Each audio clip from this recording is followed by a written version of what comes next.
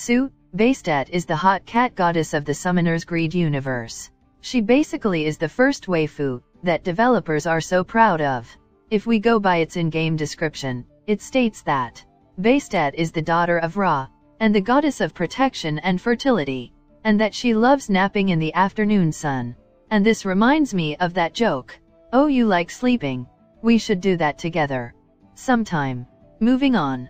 Bastet got a medium speed medium range, and a multi-target attack, where Bastet orders one of her simps to attack a random enemy, and deal damage around them, where his base damage is 840, and his attack speed is 1 hit per 2.7 seconds. Adding to this, Bastet's special power is Bastet Zone, where her love charm gets on work, as one look is all it takes to fall in love with her, and the enemy will be charmed and unable to do anything but merely stare, which simply means that she stuns the enemies, and her stun time is 5 seconds, with a skill cooldown of 6.7 seconds. Moving on, Bastet being a mythical monster, costs 20 million gold, to get her to level 400, and then 50,500 power stones to get to level 100. Furthermore, Bastet is inspired from the Egyptian goddess with same name, and in my opinion, Bastet is a pretty monster, with a sweet damage, but a shitty utility, so all that strength goes to waste. Anyways, I hope you liked this video, and now we'll see some fan arts, and then a gameplay. Thanks for watching, just keep grinning and aura is mine.